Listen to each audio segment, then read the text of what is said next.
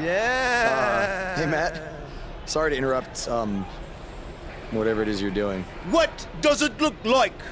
I'm rosining my violin bow as one does. Uh, yeah, of course. Uh, listen, I've got a match coming up against Bray Wyatt, and I was just kind of hoping you might be able to give me some advice. Brother Buzz, are you woken?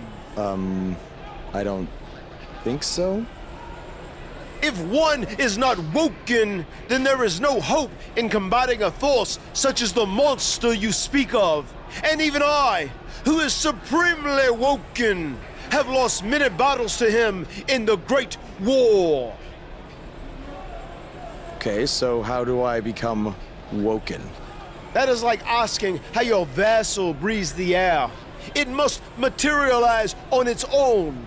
Or there is the technique of a jaunt to the multiverse, but all this rosining about and dispensing of wisdom has given me much weary. I must retreat to my quarters. Good evening, compeer. Okay, thanks.